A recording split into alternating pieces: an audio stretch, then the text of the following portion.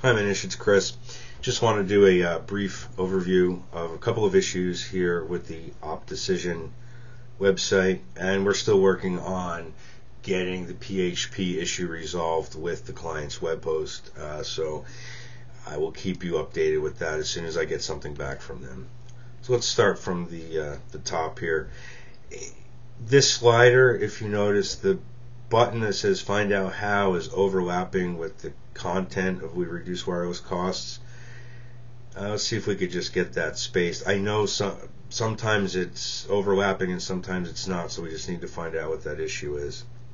The other thing is that the slide seems to be having an issue with uh, URL redirection. If I go here to this button and you look down at the bottom, it just says development OpDecision slash hashtag to return to itself. But if I hover over the picture, it shows the URL at the bottom of my uh, browser window that I put in uh, that the slide should go to. So we need to resolve this issue that the button and the slide itself need to have the same uh, URL that will direct the user to.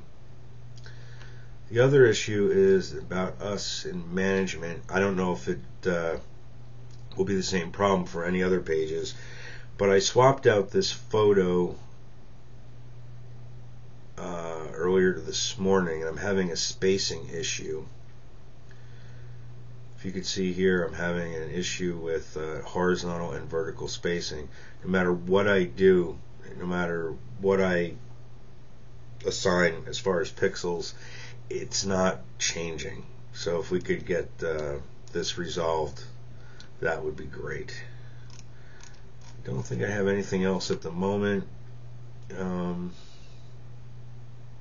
no, not right now. So if I do uh, come across anything else, I'll get back to you as usual, and either with a video or a uh, sketch. Thank you.